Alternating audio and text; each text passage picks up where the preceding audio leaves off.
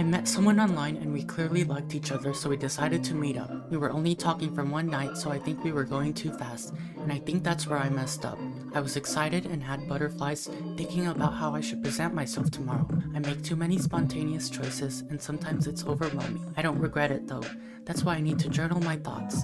When we got there, I started feeling anxious. No one was staring, but that's all I could feel. I was the tiny ant lost in the forest. I'm adventurous, but it's just a facade. It always feels like everyone is staring at my soul.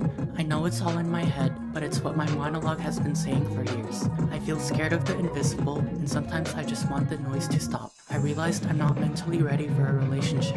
I'm still healing and figuring out where I fit. This is what they mean when they say, right person at the wrong time, at the wrong place. It's been three months and those were my thoughts back then, but I have a stronger mindset now, and I'm going to continue bettering myself.